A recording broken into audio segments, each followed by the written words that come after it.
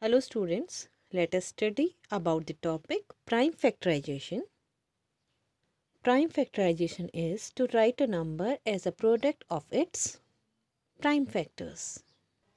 So there are two ways to find out the prime factorization. First, division method and second, factor tree method. So let us learn these methods one by one. So first method, division method or sometimes we say continuous division method. So let us understand this method by one example. Find the prime factors of 90. To express 90 as a product of its prime factors, we have to begin with the smallest prime number that divides 90 exactly. So, the smallest prime number is 2. As the number 90 is an even number, it is divisible by 2. So, we write 2 to the left of 90 and divided by 2. 90 divided by 2 which is 45. This 45 we'll write below the dividend means below 90. So as we all know 45 is an odd number. So it is not exactly divisible by 2. So we will move to the another prime number that is 3. So we'll divide 45 by 3.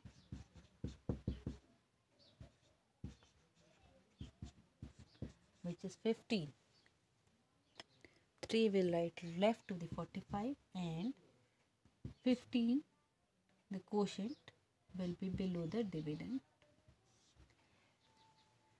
Now, now this 15 is also divisible by 3 so we'll divide it by 3 and the quotient is 5.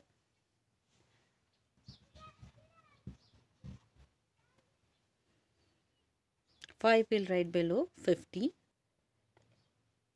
Now this 5 it is itself a prime number so we will divide it by 5 only. We will divide a number till we get 1 at the end. Now we will write the prime factors of 90 as the product of all its prime factors that are at the left side. So 90 equal to 2 into 3 into 3 into 5. So prime factors of 90 are 2 multiplied by 3 multiplied by 3 multiplied by 5. So we can say that to find the prime factors by division method, we have to follow these steps. Step 1. Divide the number by the smallest prime number and write the quotient below dividend. Step 2. Continue to divide the quotient with the smallest prime number till the quotient as 1. Step 3. Write the number as the product of its prime factors arranged in ascending order.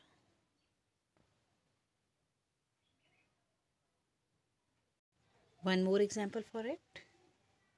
Prime factorization of 50 as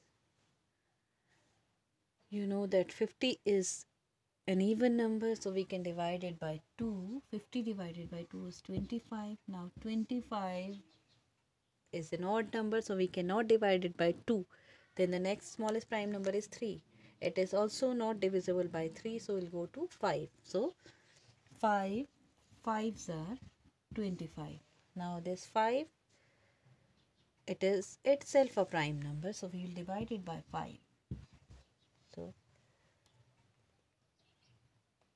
we got 1 as a quotient, quotient here. The prime factors of 50 are 2 multiplied by 5 multiplied by 5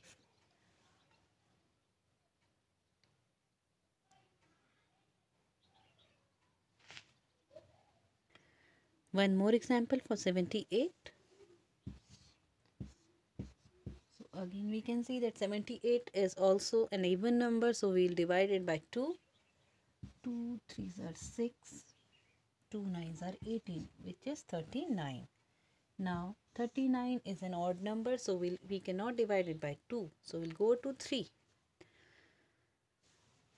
we can divide it by 3 exactly division. We need exactly division here 3 ones are 3 3 3s are 9 now 13 it is itself a prime number so 13 divided by 13 and we get 1 here.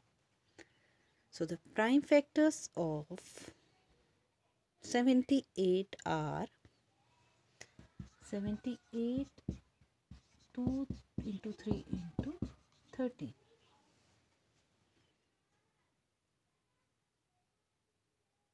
now let us look at the second method factor tree method.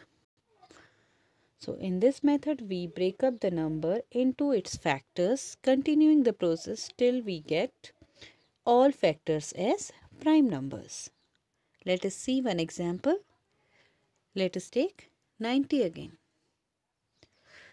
So as we know that 90 can be broken up into many pairs of factors. So here we are taking it as 9 tens are 90. Now as we can see that 9 and 10 both are composite numbers. So we'll break it again into its factors into their factors. So 9 3 into 3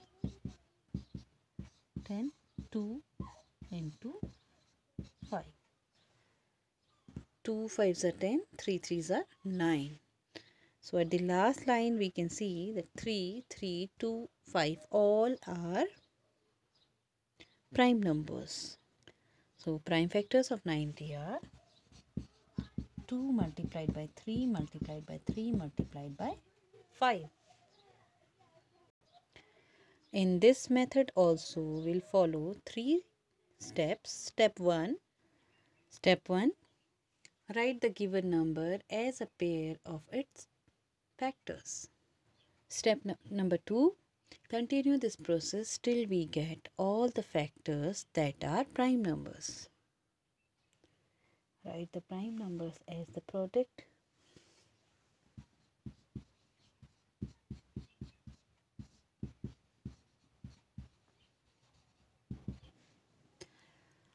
the number as the product of its prime.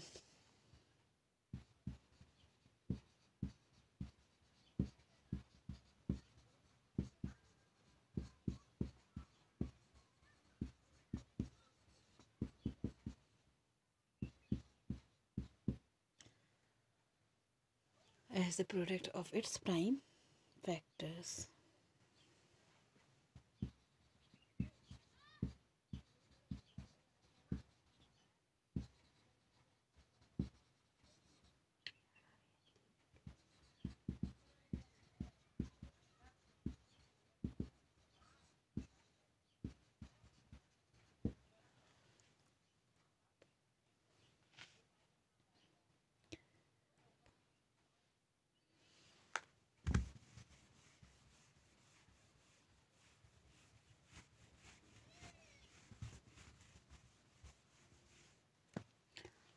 So let's take one more example for it. Let's see one more example for it. The number 99. That is 11 into 9. 11 nines are 99. Now 11 is a prime number so we'll leave it. Then we'll break 9 into its factors. So 3, 3s are 9. So the prime factors of 99 are 3 into 3 into 11. 3 3s are 9, 9 11s are 99. So I think the topic prime factorization is clear to you all and I hope this video will be helpful for you all. Thank you so much.